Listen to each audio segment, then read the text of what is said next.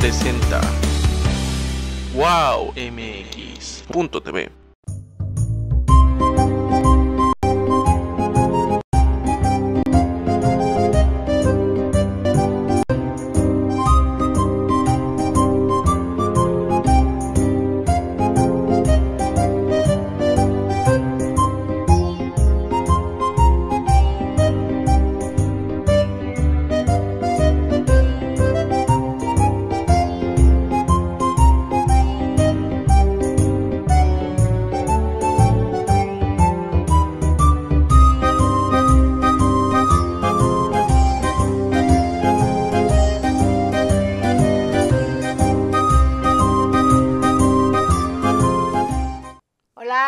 queridos amigos, muy buenas tardes. Aquí estoy, soy Anaís de Melo. Estamos en el programa Vino con mucho gusto por wowmx.tv, como todos los miércoles a las 12 en punto. Y esperemos que hoy no se vaya la luz, porque se nos ha ido la luz. Hay un duende aquí que me quita la luz. Eh, por algo me quita la luz, a lo mejor ya no me veo tan bien como antes, quién sabe. Pero a ver, mis queridos amigos, el día de hoy, ¿quién vino con mucho gusto? Pues un amigo, un nuevo amigo, de hecho. Lo conocí hace poco en un museo. Entré a un museo porque estaba yo caminando por las calles del centro de la Ciudad de México, que es pues, precioso, obviamente, y, y vi una estructura que parecía como una iglesia. Yo pensé que era una iglesia siendo atea, a mí me gustan mucho las iglesias, la verdad, me fascinan. Y entonces cada vez que veo una iglesia yo entro, no para rezar, sino para ver. Me gusta mucho ver las iglesias. Y entonces me dicen, no, no, no, esto no es una iglesia, es un museo. Ah, le digo, y a la señorita que me atendió muy amable eh, en la puerta, me dice, es un museo, ¿por qué no pasa a ver la exposición? Y le digo, ¿qué exposición hay? Me dice, hay tres exposiciones la sala 1, la sala 2, la sala 3. ¿Ok? Bueno, ok. Entonces voy a empezar por la sala 1, después voy a la sala 2 y después a la sala 3. Y entré a la sala 1, ya después no entré ni a la sala 2 y a la sala 3, porque me enganché. Eso sí se los puedo decir, me enganché. Eh, y estaba eh, viendo unos murales y, y, y, y unos, este, unas pinturas muy padres, muy originales, y a mí me gusta mucho el arte.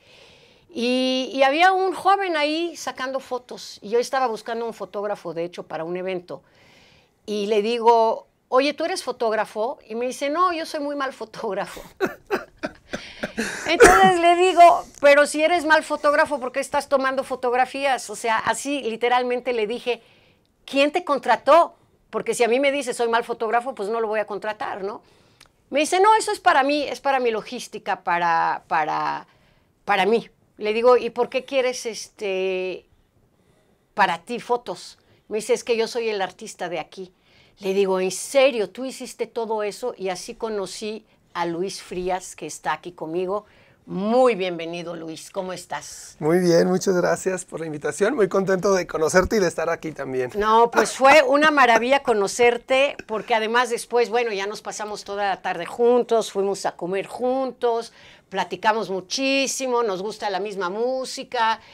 Eh, se me hace padrísimo que una gente tan joven como Luis le guste la misma música que a mí, ¿no? Porque a mí me gusta la música pues ya de los años 70, 80 y él conoce toda esa música. Y, y bueno, pues no, platicamos, platicamos y no paramos de platicar. Y dije, a este artista, a este hombre, yo lo tengo que invitar a mi programa para que todo el mundo lo conozca. Toda la gente que nos está viendo el día de hoy, yo quiero que ustedes conozcan a Luis Frías. Y bueno, pues Luis, eh, para empezar, otra vez muy bienvenido. Y quiero que vean estas maravillas que tenemos aquí.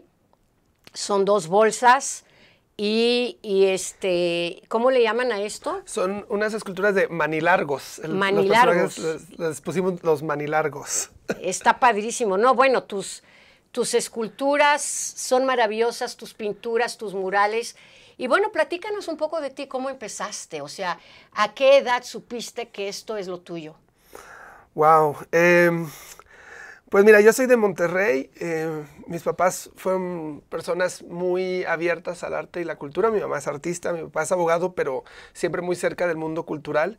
Entonces, desde muy chiquito me dieron muchas oportunidades, ¿no? O sea, de hecho, estaba recordando hace poco que de niño me dejaban pintar, no en todas las paredes de la casa, pero sí en una, ¿no? Teníamos ahí un trato donde podía pintar en esa pared, luego que la llenaba, le tomamos foto y tenía que pintarla de blanco, pero volvía a empezar, ¿no? Entonces se parece mucho al proceso que está sucediendo ahorita en el Museo de la Cancillería, que es como una pintura mural en toda la sala que se va transformando porque es una bitácora, entonces constantemente pongo información de los encuentros, por ejemplo, ahí está narrado también nuestro encuentro, Eh, y en algún momento, que bueno, más bien esta semana termina la exposición, pues todo se va a borrar, ¿no? Es Ay, no, eso es a lo que me duele mucho. Es como matar a alguien que quieres mucho, ¿no? Cuando tú me dijiste que iban a borrar todo eso el día que se termine la exposición, o sea, no, de verdad no lo puedo creer.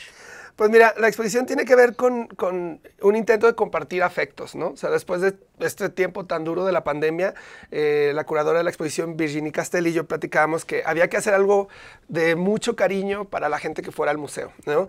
Entonces, ¿qué más cariñoso que tratar de compartir la vida? Y en ese sentido, pues así es el compartir, ¿no? O sea, nos quedamos con mucho, nos quedamos con poco según qué tanto interactuamos, según qué tanto damos de nosotros mismos, ¿no? Entonces, sí hay una parte ahí como de- del ejercicio de desprendimiento. No se me hace tan triste que se vaya a borrar porque ya están en todos los que hemos convivido ahí.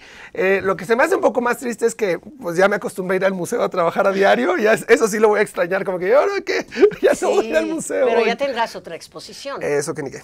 Sí. Eso que. Y, y, este, yo creo que tú deberías de tener una exposición de aquí hasta que te mueras a los 120 años. O sea, porque, no, de verdad, o sea, a mí me da mucha tristeza cuando cualquier tipo de artista, ¿no? Puede ser un chef, puede ser un músico, puede ser eh, un, un pintor, cuando son tan talentosos y de alguna manera no han podido eh, hacerse famosos, porque el hacer, mira, el hacerse famoso no tiene nada de malo, es padre, ¿no? Yo lo fui hace muchos años, lo disfruté mucho, me gustó mucho, y creo que una persona que se dedica a, a este tipo de cosas, pues, aunque tenga una pequeña fama durante poco tiempo, pero que, que, que- que viva eso, ¿no? Que goce esa etapa de, de famoso, ¿no?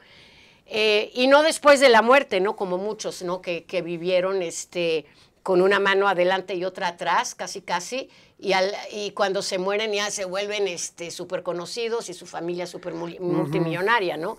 La cosa es vivir la fama y vivir el éxito mientras tú o el artista estén vivos, ¿no? Bueno, yo soy famoso en Japón. ¿Eres famoso en Japón? o sea, que ir a Japón a entrevistarte. Es una canción de Tom Waits. Sí, sí, yo sé, I know. ah, que Tom Waits, ah, eso es, es lo que nos hizo amigos, porque yo le dije, cuando yo entré al museo había una música muy padre y era el último disco de Bob Dylan, pero yo no sabía. Yo pensé que era Tom Waits, que es uno de mis favoritos. Y entonces le pregunto, oye, ¿es Tom Waits? Y se queda así, me dice, ¿conoces a Tom Waits? Le digo, sí, por supuesto. No, me dice, es el último disco de Bob Dylan, pero yo adoro a Tom Waits. O sea, es, no mucha gente conoce a Tom Waits, esa es la verdad. O sea, es un nichito de gente que le gusta la buena música. Entonces, bueno, nos hicimos amigos. Thank you very much, Tom Waits. De verdad, si no fuera por ti. Fíjate que, que Tom Waits está muy presente en mi trabajo como inspiración. Eh, la exposición se llama Todo es otra cosa a la vez y tiene mucha referencia a una canción de él que dice que todo lo que puedes pensar es verdad. Mm. Y me fascina como ejercicio creativo. O sea, muchos escritores, artistas dicen que si lo puedes pensar, si lo puedes bailar, si lo puedes dibujar, si lo puedes escribir, es posible, ¿no? Entonces, bueno, me imagino 400 soles en el cielo, me imagino un pez que me habla, eh, ahorita me voy volando al centro, pero la cosa ahí sería ¿y cómo pensar lo que no sabemos. Entonces, en mi experiencia o en mi práctica, eh, la, la solución es el collage. Por eso trabajo tanto la idea del collage. Entonces voy mezclando como información de lo cotidiano, que es real, con, digamos, estos mundos posibles que son ficciones, y al entrelazarse, a veces su- surgen ideas que no sabíamos, ¿no? O visiones del mundo que no sabíamos, ¿no? Y eso pues tiene mucho que ver con el buenísimo Tom. Tom Waits. Oye, y ah, pues estábamos platicando de la edad en que tú sentiste. Ay, perdón, eh, sí. No, no, pues tenemos que hablar de todo. Ojalá tuviéramos cinco horas para hablar de toda tu vida. Eh, yo, yo siempre pienso, pues yo he tenido aquí, por ejemplo, muchos invitados transexuales, homosexuales, que sabían desde que tuvieron usa- uso de razón que, son que, que- que no están en el cuerpo adecuado o que le gustaban, pues el niño, ¿no? De la escuela o la niña de la escuela. Eh, y yo me acuerdo que desde que tengo uso de razón, yo sabía que yo era actriz, sin saber lo que es ser actriz, ¿eh? Pero yo sabía que quería ser actriz. Todavía no había visto ni mi primera película ni mi primera obra de teatro porque estaba yo muy chiquita, pero como en tu caso, también en mi caso, eh, yo vengo de una familia muy cultural, ¿no? Entonces había todo eso en mi casa eh, y mis papás me llevaban siempre a ver este, obras de teatro y cine, y en esa época ni había televisión. Entonces yo sabía que yo quería ser actriz. Y yo siento que una persona de muy temprana edad ya sabe lo que es. ¿Tú a qué edad supiste eso? Pues mira, no sé a qué edad, pero sí desde muy temprano, porque eh, dice mi mamá que tan pronto pude agarrar así un crayón o un lápiz, no dejé de dibujar. Y para mí eso siempre ha sido muy importante. O sea, si ahorita tuviéramos unos ojos aquí, sí me puedo como niño chiquito ir, ¿no? Y creo que empecé a entender que el dibujo era una forma como de ir conociendo el mundo, pero también de ir como participando en él. Entonces yo recuerdo así horas, horas a los 5 o 6 años de estar con una hoja, un paquete estos de hojas Bond y, y chutármelo, ¿no? O sea, me podía echar un paquete en un centón, ¿no? Em, entonces, desde entonces yo sabía que iba a ser arte. Lo, extraño ha sido como no extraño, pero lo interesante ha sido también como ir creciendo, porque digamos que nunca fue mi objetivo convertirme en el mejor pintor o escultor, sino como ir conociendo el mundo a partir de la creación. Entonces en algún momento me interesó más la música y luego en otro momento me interesó también el teatro y luego en otro momento volví a pintar y es como ir en un cruce de, de aprendizajes, ¿no? O sea, por ejemplo, recuerdo mucho eh, estar en mis primeros grupos de rock y tratar de describir los sonidos que quería con los compañeros eh, haciendo imágenes, ¿no? Diciéndoles, bueno, como imagínate una combinación rara entre rojo y naranja, no sé qué, bla, bla. Pero luego volver a la pintura y querer hacerlo como con la energía que se siente estar en vivo. En- entonces fue, digamos que eh, entendí que no había que ser como especialista en un tema, sino usar el arte para conocer el mundo, para conocer la vida, para construirnos a nosotros mismos, ¿no? Y ha sido el, el proceso hasta ahorita, ¿no? O sea, como una no diferenciación del arte y del ser humano. Fíjate que acabas de decir algo interesante, que no te querías convertir en el mejor pintor. Yo creo que el mejor pintor ni existe, porque tú puedes ser el mejor pintor para alguien y puedes ser el peor pintor para alguien. Lo mismo con la música, o sea, hay pues músicas que yo no, no, no, no, o sea, no hay manera de que me pongas a, a- a escuchar, ¿no? Por ejemplo, la música, el rap o el reggaetón, o sea, para mí es malísima la música, pero para otros es buenísima, ¿no? Claro. Entonces, este, el arte, pues, e- es como el vino, ¿no? Es el que más te gusta. Claro. Eh, de repente hay artistas que a mí no me gustan absolutamente nada y eso lo platicamos también ese día.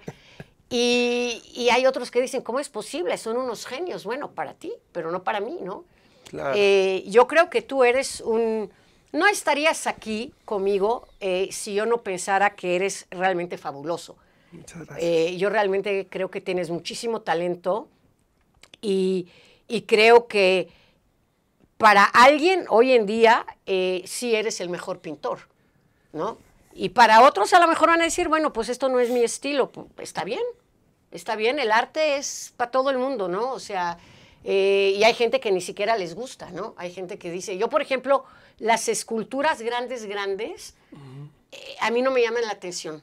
O sea, hay una que me gusta mucho que es el pensador, ¿no? El penseur, pero es la única. O sea, las esculturas como tal, las grandes esas, no me gustan. Sin embargo, las pinturas me fascinan, los murales me encantan.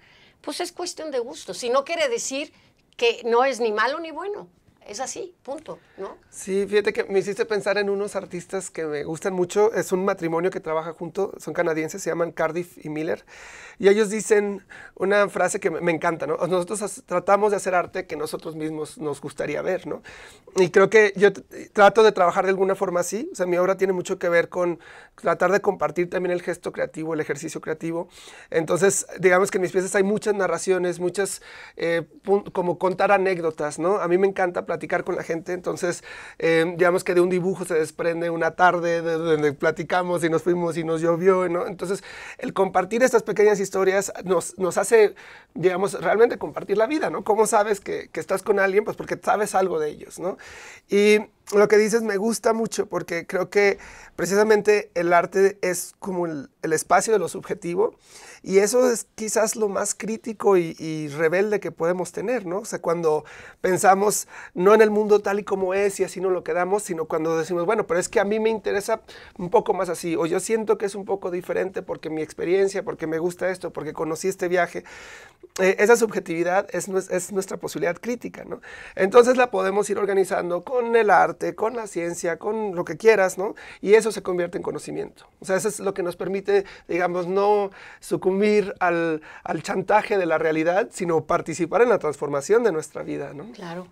Oye, y por ejemplo, eh, yo soy malísima para pintar. O sea, no me pongas. O sea, si me vas a poner un lápiz o una pluma en la mano es para escribir. Eso sí me gusta mucho y creo que lo hago bastante bien. No pinto nada, o sea, no hay manera. Y obviamente como mis papás eran, eh, había mucha arte y eran muy cultos en mi casa, eh, trataron de meterme en una escuela de arte al principio, cuando era yo chica. y no, no, no se me daba, pero, y hay gente como tú que son natos, pero, por ejemplo, si ahorita nos está viendo el papá o la mamá de un joven que ya saben que quiere ser pintor, que quiere ser artista, eh, ¿crees que debe de adquirir una técnica, que debe de ir a una escuela o, o- solo así? Esto viene, fíjate que yo, de hecho a mí, y voy a decir algo que no debo, pero bueno, pues es parte de mí. A mí no me gusta estudiar, yo odio estudiar, sin embargo hablo cinco idiomas, este, escribo súper bien, pero no tengo técnicas como tal y como actriz tampoco he ido a ninguna escuela de actuación, porque no, no me gusta estudiar, no puedo, no puedo tener una maestra, un maestro, no se me da. Y por eso fui siempre una muy mala alumna, malísima. O sea, yo, yo tenía cero en todas las materias del mundo. No sé cómo llegué hasta aquí, la verdad. Pero no puedo, no, no se me da. Y entonces mis papás, que eran muy abiertos y, muy vanguardistas, me dejaron, me dejaron. O sea, claro, tenía yo que ir a la escuela, eso que ni qué, pero me dejaron ser yo. Y, y entonces yo no tengo ninguna técnica, por ejemplo, en la actuación. Sin embargo, soy muy buena actriz. Yo tengo mis técnicas, yo tengo mi idea de cómo quiero representar un personaje, ¿no? Entonces, si a mí me pregunta un joven actor, oye, ¿crees que debo de ir a la escuela? Te ayuda, por supuesto, sí te ayuda, pero ¿es necesario? No. Ahora, obviamente, si vas a ser este, un cirujano, pues sí tienes que ir a la escuela, ¿no? Pues no, eso, eso es otra cosa, ¿no? Lo aprendí practicando ahí Sí, con los compas en el exacto, barrio, ¿no? Exacto. Entonces todo depende de lo que quieras hacer en la vida, pero en cuanto a un pintor, a un artista, ¿tú qué crees? Pues mira, para empezar, yo sí te puedo decir que mi hobby es la cirugía, ¿no? Pues es lo que hago los domingos, no, no te creas.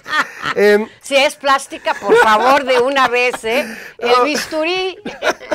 Mira que em, yo creo que es un ir y venir, ¿no? A mí me gusta mucho una, como la imagen de estar con un pie adentro y un pie afuera. O sea, estudiar, em, estar también, porque estudiar también es estar con una, con, con una comunidad de práctica, ¿no? O sea, los compañeros de clase, los maestros. O sea, hay mucho que va alrededor del- de la idea de aprender.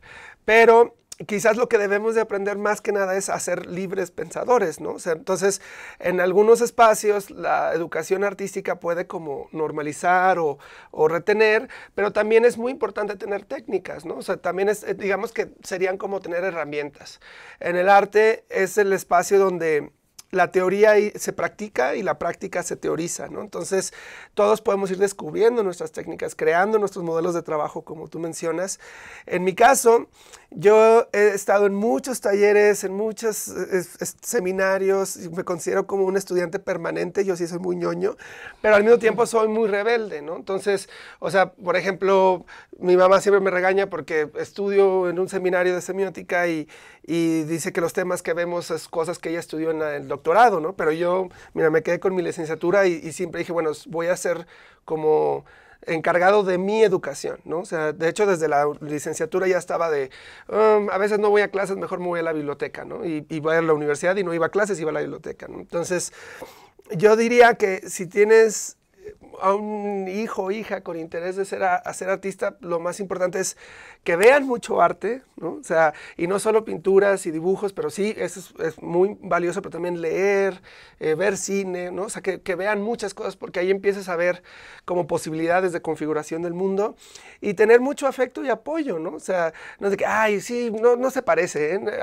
hazlo otra vez, pues no te, no te lleva tanto, pero en cambio, oye, creo que aquí estás acertando en esto, eh, ¿por qué no haces más? Mírate en materiales, oye, eh, fulanito va a dar un taller porque no vas, ¿no? O sea, eso sí es, es muy enriquecedor, más que digamos, tener un título, aprender a ser libres con, con, lo que queremos, ¿no? Como te digo, yo a veces estoy en la música, a veces estoy en el teatro, a veces estoy en, en, la pintura, porque ocupo esa relación para poder ver un poco diferente, no estancarnos, no volver a ir a hacer exactamente lo mismo cada vez. ¿no?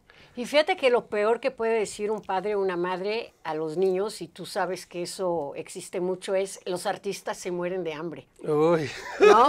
O sea, ok, si quieres ser artista, perfecto, que sea tu hobby, pero, pero ve, este, adquiere tu licenciatura de abogado o de lo que sea, ¿no? O sea, ayuda, ayuda, no digo que no. Eh, yo por más que odiaba estudiar, eh, encontré algo que me gusta mucho, que es el turismo y la hotelería y sí, pues estudié eso y terminé eso, entonces me ayuda porque hoy pues estoy en todo eso, ¿no? Tengo una agencia de relaciones públicas y marketing que está muy enfocada a todo lo que es turismo, gastronomía, todo ese tipo de cosas que yo aprendí y que a mí me gustan, ¿no? Eh, y, mira, y qué bueno, porque en algún momento eh, mi, mi carrera como actriz se terminó. Y no sé, y tú sabes por qué se terminó, te lo dije, este, no se terminó porque fui mala, ni se terminó porque, porque no supe interpretar, sino simplemente porque tuve problemas personales que no me ayudaron a seguir adelante. Pero después de todo eso, pude, por la educación que me dieron, pude levantarme y hacer otra cosa en la vida. Eso es importante pero yo creo que no lo es todo.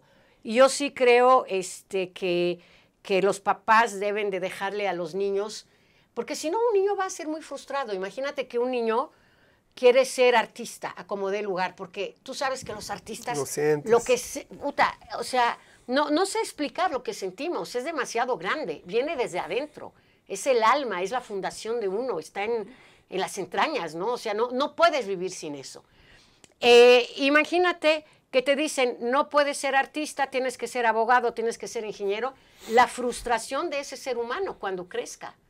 Sí, definitivamente. Y que nos programa un poco mal, ¿no? Porque como dices, esa fuerza como vital que está en ti, pues si la estás torciendo, entonces toda la vida estás de alguna forma tristón, pero pero también, por ejemplo, pon tú que sí te pones a hacer arte, pero siempre tienes ese fantasma de que no, no puedes vivir de esto. No, el arte es el amor al arte, ¿no?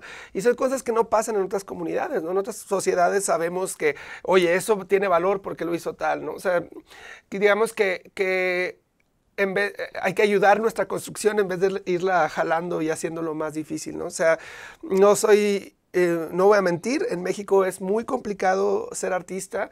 También es muy bueno ser artista porque en México hay muchas libertades que en otros lugares del mundo no hay. O sea, por ejemplo, yo me puedo salir ahorita a la calle y pegar unos pósters y a quién le importa, ¿no? Em, y al mismo tiempo, mucha gente sí se parará y me preguntará al respecto. Pero económicamente, mucha gente piensa eso, ¿no? Como que todo todos los artistas tienen la gran satisfacción de hacer su obra, que es verdad, pero también todos los artistas tienen que vivir, ¿no? Entonces, no hagamos esa programación desde de inicio, donde no, no vas a poder vivir de esto, no, no es una economía. Pues si no es una economía, entonces ¿por qué hay un mercado global tan importante al cerca, Claro. ¿no? Y en México hay unas galerías importantísimas, artistas muy prominentes. Entonces, de que se puede, se puede, solo tenemos que también participar un poco, ser más positivos. Además es la segunda, la- el DF, bueno, la Ciudad de México es el la segunda ciudad que después de Londres que más museos tiene. Así es, eso y tú es. estabas y estás hasta fin de mes en uno de ellos, de los más Claro, importantes. sí, sí, el Museo de la Cancillería. eso, ¿cómo llegaste ahí? Pues ¿Y eh, ¿Cuál es el museo de la Cancillería? el Museo de la Cancillería, que está en República del Salvador 47, entre Vayan. Bolívar e Isabel Católica. Vayan, vayan, vayan. Eh, y pues bueno, hace que fue como en el, en el 2019, el- este museo tiene parte de la colección del programa de pago en especie. Yo no estoy en el programa aún, pero eh, en el 19 el curador de la exposición eh, es un colega, colaborador, maestro mío, y me invitó a participar en la exposición que se llamó Osario. Y a partir de esa exposición que implicó una donación al museo, digamos que ya soy parte de su colección, me dieron la oportunidad de presentar un proyecto de exposición. En ese momento estaba trabajando una investigación acerca de procesos creativos, donde estaba haciendo como un archivo de mi producción. Entonces, como que empató mucho la, la- la idea, por suerte aceptaron el proyecto, pero la Por pandemia... suerte no, eres buenísimo, por eso aceptaron la idea. Gracias.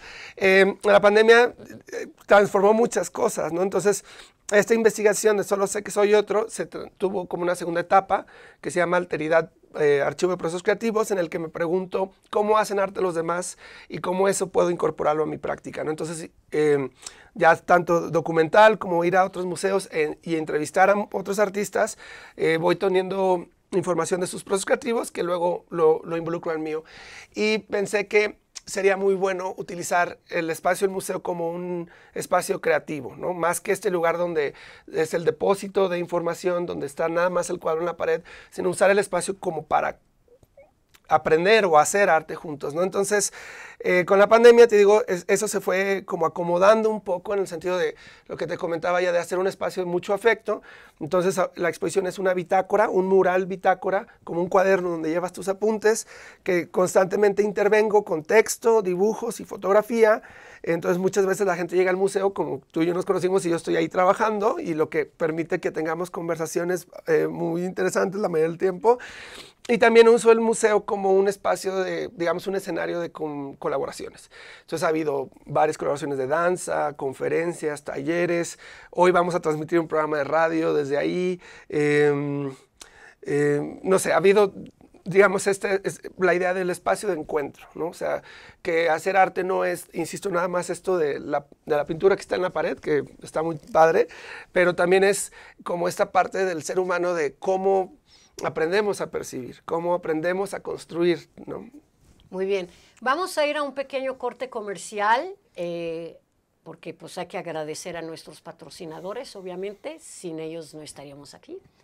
Y regresamos con Luis Frías. Ah, y antes de irnos, vamos a tener una trivia eh, y se van a ganar una de estas esculturas, porque la otra es mía, ya me la regaló, así que ni modo.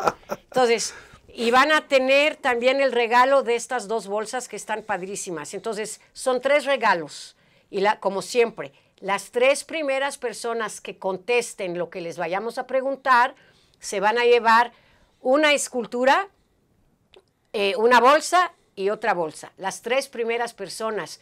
Eh, así que escuchen muy bien todo lo que estamos platicando o pueden entrar. ¿Cuál es tu página de internet o de, de Eh, Facebook? O... Es Luis Frías Leal, en Instagram y en Facebook Luis Frías Leal. Y ahí hay mucha información. Ok, entonces también búsquenlo en sus redes sociales. Eh, vamos a preguntar algo. Él va a preguntar algo, yo no sé qué preguntar. Pero Luis va a preguntar algo. ¿Cuál es el sentido de la vida? No, no te creas. Es muy bueno eso, quién sabe, ¿no? Este, Monty Python, ¿no?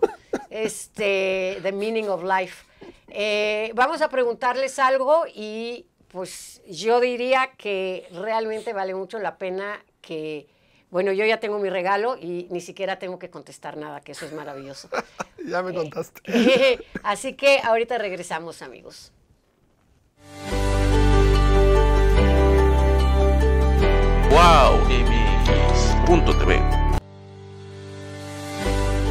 wow MX.tv.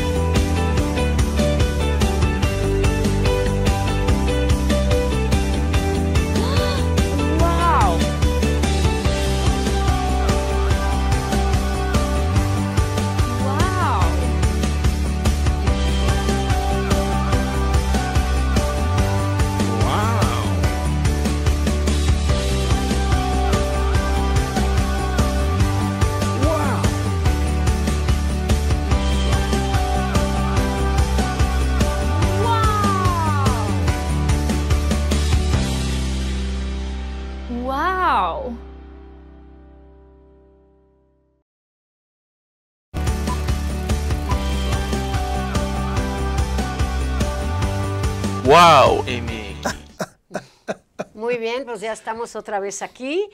¿Y pensaste en alguna pregunta que les podemos hacer para que se ganen la trivia? Sí, eh, pero más que una trivia, por decir, de lo que hemos platicado, eso, lo que me gustaría mucho es con este juego de compartir la, la subjetividad, que nos platiquen una canción que les haya así como que realmente marcado la vida y por qué, ¿no? O sea, Ah, que- qué buena onda.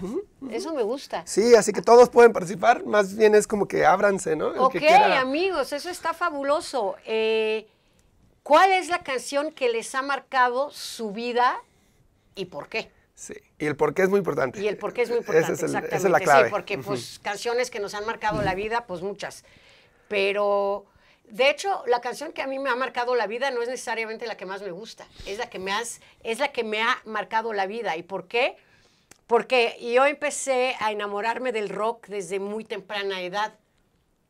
Y una vez escuché una canción que estaba yo escuchando una canción de chiquita, que tenía unos 10 años o algo así.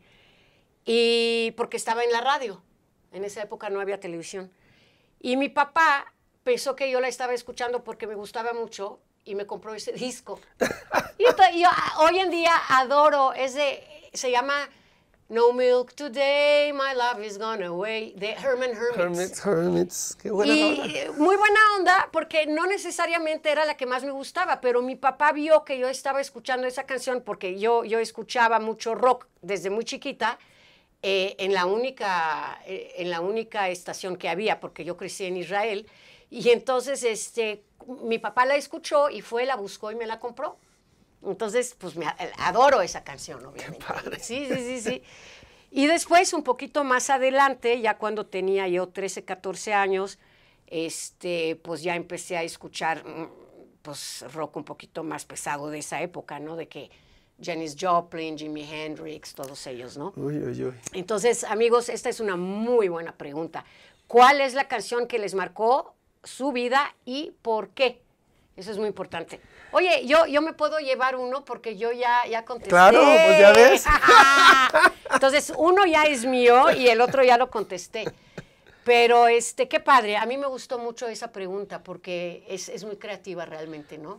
Sí, pues, insisto, como que tratar de platicar, ¿no? Ahorita nos están escuchando, pero si nos comparten información Sí, también. sí. Ah, bueno, lo tienen, obviamente, eh, siempre, eh, como ustedes saben, lo tienen que contestar en mi correo electrónico, que es anaísdemelo.gmail.com anaísdemelo.gmail.com Me contestan qué canción les ha marcado su vida y por qué, y cuál de los regalos quiere. Ahora, esto obviamente va a ser por orden. La primera persona que conteste, y aquí sí no hay contestación bien, bien o mal, o sea, es la canción Sí. que, que te marcó la vida, ¿no? Entonces, la primera persona que conteste y me diga, ah, yo me quiero llevar la bolsa, pues se lleva la bolsa.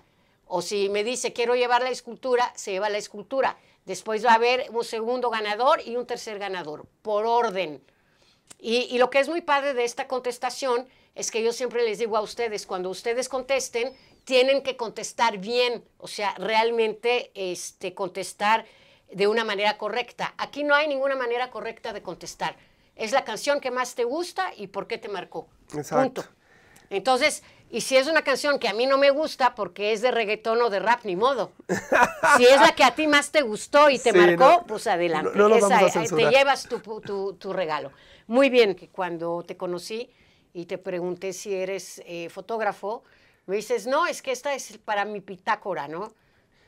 ¿Y por qué, no? Ya hasta que me dijiste, te tardaste un poco en decirme que eras el artista, como Sí. unos minutos, ¿no? Y dije, pero, ¿qué, qué onda con este cuate, no? Pero me, desde que te conocí me encantaste, o sea, te, te me, te me hiciste muy buena onda, la verdad, ¿no? A mí también porque muchas veces la gente es penosa, y por eso tampoco quería así como si, ah, yo soy el artista, porque luego la gente se toma otra, otra postura, ¿no? Se puede intimidar. Y tú estabas como que platicándome muy abiertamente, hasta, ok, esto sí me gusta, esto no me gusta, ¿no? Y eso es, eso es lo Sí, mejor, ¿no? sí, o sea, claro. poder ser transparente, así Sí. dice Ana Arendt que la, la verdadera ética, o para ser éticos hay que ser amigos, ¿no? Sí. Entonces, para ser amigos hay que pues, compartir y ser Claro. transparentes, ¿no? No, y además, bueno, pues como estábamos comentando, el arte, el mejor arte es el que más te gusta. O sea, hay, hay realmente artistas que a mí no, no me gustan y, y- y además entiendo que son genios.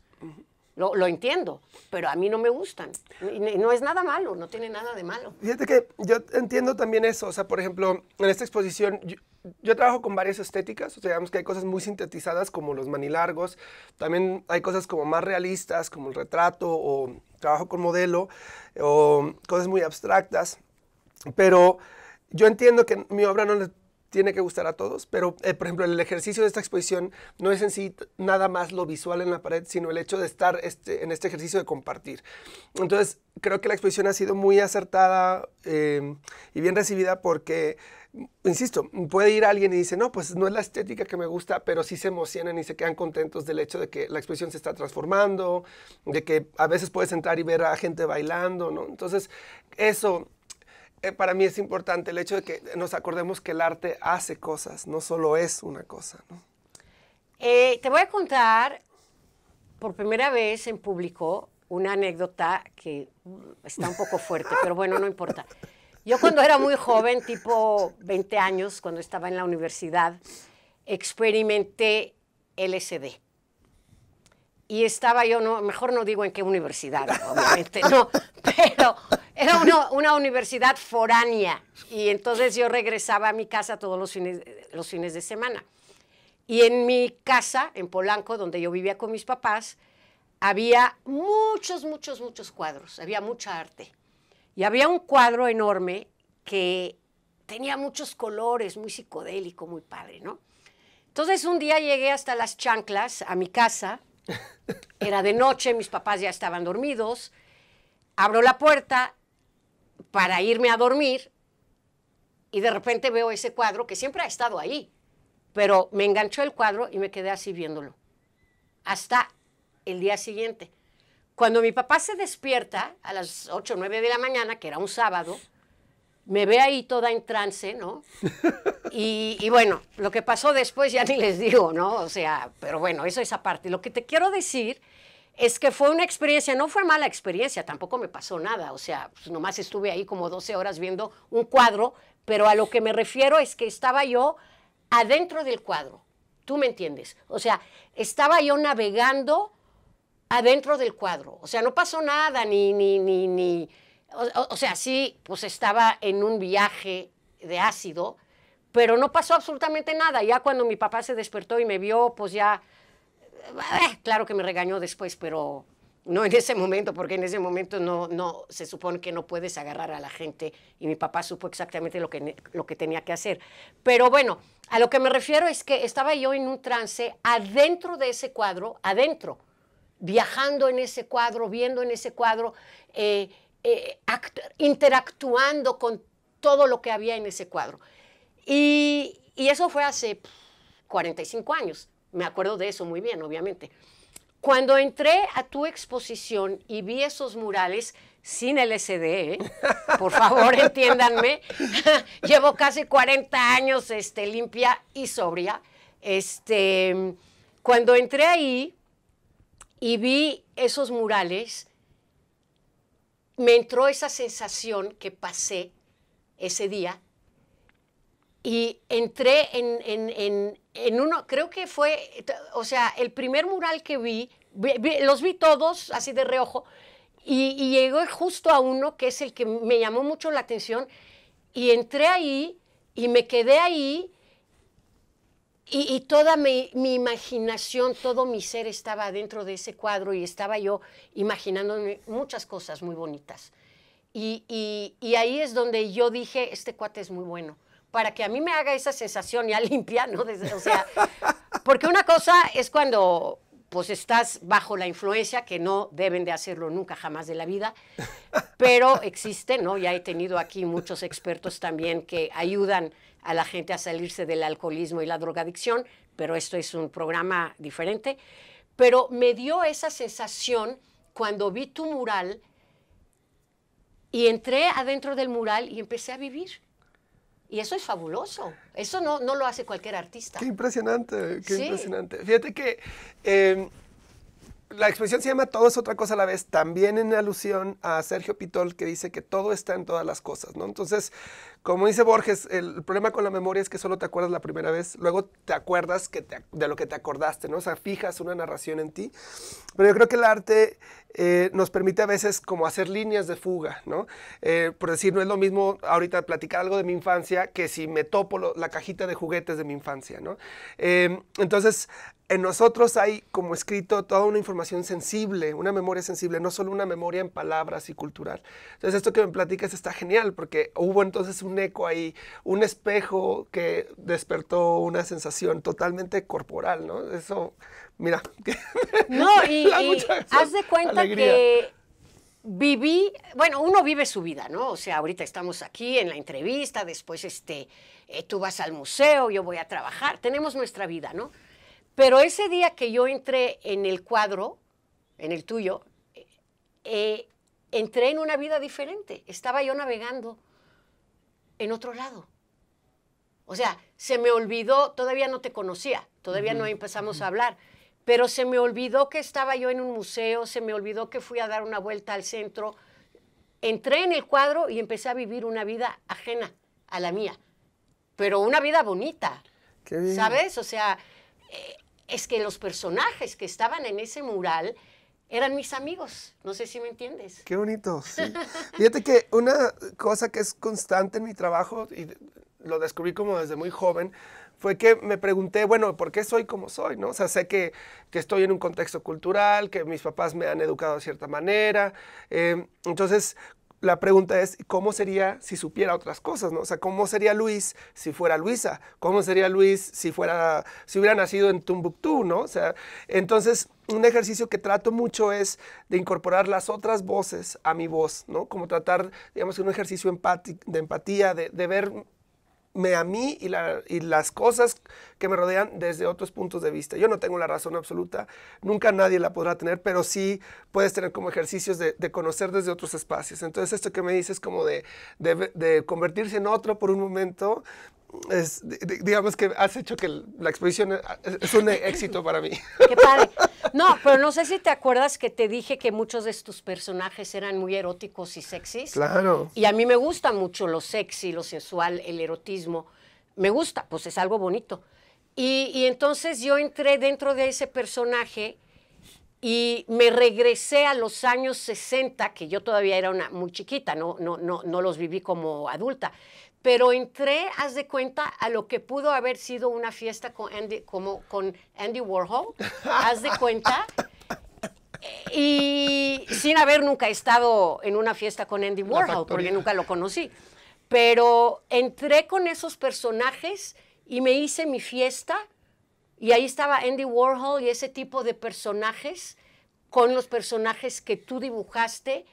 Y, y- y, pues fue fantástico, ¿qué te puedo decir? Qué bonito. O sea, viví, viví una bonita fiesta que siempre me, me- me hubiera encantado, obviamente, conocer a Andy Warhol, Warhol y toda esa gente, ¿no? Que lo, que él, con quien él se rodeaba. Y a través de tu pintura, de tu mural, viví unos momentos ahí, no sé si me explico. Sí, y me gusta mucho eso, porque te digo que eh, una de las cosas que más me gustan es la fiesta y platicar, ¿no? O sea, eh, yo sí me puedo pasar toda la tarde en un café o en un barecito platicando con lo alguien. ¿no? pasamos Y lo después, pasamos. De hecho, ese día que nos conocimos nos fuimos a la A una cantina padrísima, Que, cantina, cierto, cantina del centro. Mañana ahí vamos a hacer una pequeña inauguración. eh, es como, como un ejercicio que se desprende de la exposición, porque que hemos he conocido muchas personas, nos hemos hecho amigos. Entonces, en algún momento, información de la cantina empezó a entrar al museo, escenas, ¿no? dibujos, cosas así, y luego los convencí de que me dejaran cosas del museo poner en, el- en la cantina. Y luego eso llevó a que a- m- mañana vamos a hacer una inauguración de una exposición colectiva, somos varios artistas, están todos invitados de las 3 de la tarde a las 10 de la noche en la ¿A dónde? El la cantina Resurrección está en Mesones, si no mal no recuerdo, es 40 59. Mesones lo- casi con Isabel Católica. Mesones, casi con Isabela Católica. eh, la cantina se llama Resurrección. Resurrección. Qué padre, me encanta. Pero- y es buenísima. Sí, y pues bueno, eso, ¿no? O sea, por ejemplo, la exposición sí puede ser como, un- como una fiesta, porque hay tantos personajes, eh, hay una conversación por acá y otra conversación por acá, ¿no? O sea, sí es una gran fiesta, es una gran fiesta sexy. Sí, es una fiesta erótica bonita, pero bien, o sea, no entré en otro mundo, punto. No, no, no, no sé explicarlo. O sea, eh, lo que pasa es que también cada uno entiende y siente el arte de maneras diferentes, ¿no? A lo mejor una persona ve ese mural y, porque hay ahí algunos actores y sujetos muy sensuales y muy sexys. Y pues si es una persona bien este mocha, pues va a decir, no, esto es el, el, el- el pecado pues no, para mí no, para mí no, no, no lo es, es todo lo contrario, es todo un, un- un- un jardín, de, un jardín de Edén, ¿no? O sea, es el paraíso, ese. Y yo entré en el paraíso en ese momento, por unos minutos, Qué hermoso. hasta que te conocí. y Ya después ya conocí al que hizo el paraíso. Wow. Eh, pues sí, yo creo que hay que recordar también que somos cuerpo. Nadie nace vestido, ¿eh? A veces me pasa eso de que, digo, la, la expresión yo no creo que tenga nada así como, como de- demasiado Obsceno. obsceno, No, ¿no? para nada. Eh, al contrario, es como una celebración del cuerpo, del Sí. afecto, ¿no? Eh, No, y está muy, muy bonito, muy estructurado, muy eh, eh, limpio. No, no, no. Digo que también si tú quieres, este, como artista que eres, y de repente uno cambia de, de mood, ¿no? De repente estás en muy buen. En, en una buena onda y de repente estás muy enojado y puedes estar ahí este, Claro. eh, dibujando una orgía, que también es bueno, no tiene nada de malo, ¿no? Depende si te gusta o no te gusta, eso es todo, ¿no? Claro. Pero ese cuadro en el que yo me metí, no, fue bien bonito, o sea, había personajes muy interesantes. Sí, Digamos que todos los otros que somos. exacto, ¿no? Y, y bueno, pero ¿de dónde sacas esos personajes? ¿Y cómo le haces para una gente como yo, que sí soy difícil? Yo soy un cliente difícil para todo. Pero me hiciste pasar un muy buen rato. Que también puede ser que a otra persona le hagas pasar un mal rato, que diga, ay no, Sí. Dios mío, Jesucristo, ¿no? Pero ¿cómo le haces? Porque son arte provocativa. Para bien o para mal tú provocas. Si no provocas, entonces eres aburrido. Y si eres aburrido, pues nadie va a estar interesado en tu arte, Exacto. ¿no? ¿Cómo le haces para provocar? ¿Cómo sabes lo que va a provocar para bien o para mal? Tenemos tres minutos para que rápido digas, porque mira, ya se nos está yendo el tiempo. Pues mira, más que nada, te- creo que hay un gran amor hacia la vida y hacia los demás, un gran deseo de vivir, de alguna forma tratar de vivirlo todo. Entonces, eh, pongo mucha atención a los demás. Entonces, puedo, digamos, sabemos de alguna forma cómo se estructura el dolor, cómo se estructura el goce, cómo se estructura eh, el amor, ¿no? De, de, pues de ser empáticos, de percibir. Entonces, voy digamos, escuchando cosas, viendo cosas del mundo y lo trato de organizar a través de esas experiencias, ¿no? Es como la poesía, puedes leer un poema muy alegre y un poema muy triste y los dos te pueden estremecer. Entonces, no es el tema, sino es como la empatía, la resonancia que tenemos entre los cuerpos. Muy bien. Pues amigos, desgraciadamente, ay, ahora sí me dolió. Se nos terminó el tiempo. Y a mí me hubiera gustado seguir. Bueno, yo sí en algún momento voy a seguir hablando con Luis mucho tiempo, pero me hubiera gustado que ustedes lo conozcan mejor, porque es un, un personaje fantástico, de verdad, ya se dieron cuenta.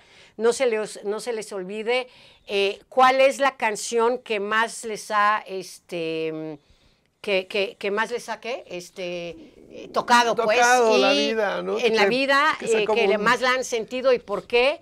Anaísdemelo arroba gmail.com van a tener de premio o de regalo una bolsa, a ver si podemos ver las bolsas, por favor, otra bolsa y uno de estos eh, personajes, escultura, ¿cómo le llaman? Manilargos. Manilargo, me que son encanta. coquetos y juguetones. Eh, podemos acá. poner ya, antes de irnos, eh, sí, podemos poner la, eh, la información de Luis en la pantalla, por favor, antes de que nos vayamos. Porfa, porfa. Ahí está. Está bien, ¿verdad? Estos son tus... Sí, redes sociales. Ok, Luis y- Frías. Mi querido Luis, no sabes cómo he gozado conocerte eh, y sé que vamos a ser amigos para toda la vida, eso me queda claro. Eh, ¿Hasta cuándo va a estar tu, tu exposición? Fíjate que estamos en la recta final, se acaba este sábado. Entonces, por Pero favor, tienen corran. todavía, hoy, de hoy a sábado, eh, ¿a dónde? Museo de la Cancillería, en el centro histórico, es eh, República del Salvador 47, entre Bolívar e Isabel la Católica. Y no tiene costo, ¿eh? es No gratis, costo. eso es muy importante. Así que vayan, vayan, porque de verdad vale mucho la pena, los quiero. Yo soy Anaís de Melo, estamos en también Facebook Live todos los miércoles y todos los programas. eh, y estamos en Vino con mucho gusto, los quiero mucho, estamos en Wow eh, MX, wowmx.tv. Y esto es un wow. Hoy tuvimos un wow, un, un entrevistado wow. Y bueno, pues nos vemos el próximo miércoles. Los quiero mucho. Feliz semana, fin de semana, mitad de semana. Bye. Hasta luego. Wow